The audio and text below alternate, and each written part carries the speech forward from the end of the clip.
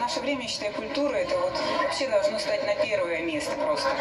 Потому что она рождает в человеке и доброту, и честность, и принципы мно- многие нравственные. Билеты были распроданы за сутки до начала. Зал полон. Три традиционных звонка. Само открытие. Пять минут. Скромно. Дальше сразу кемеровская постановка. Пока актеры организаторы рассказали. Угольный регион выбран для проведения музыкального сердца театра не случайно. Кемерово – это э, территория, где создается один из четырех федеральных культурных кластеров по поручению президента.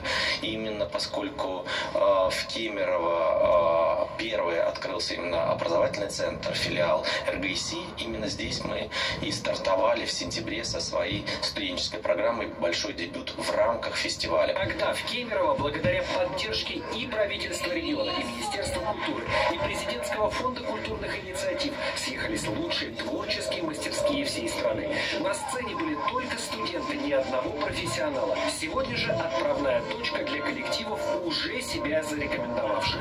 Итоги подведут 20 ноября. Остап Григорян, Сергей Сардарян, Вести, Кузбасс.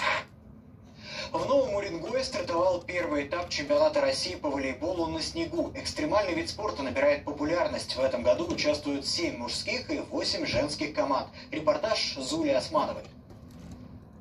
Конкретно по данной погоде очень хорошо. Все классно, да. Мячик хорошо подкачан, не сдувается даже при- прилично. А главное, яркий и пружинистый. Александр Мартыненко, как и все 60 участников чемпионата России по волейболу на снегу, сегодня протестировал новые мячи. Модель разработана в этом году специально для игры в морозы. Удары более быстрые и силовые. Экстремальный волейбол постепенно переходит в классический. Правда, обувь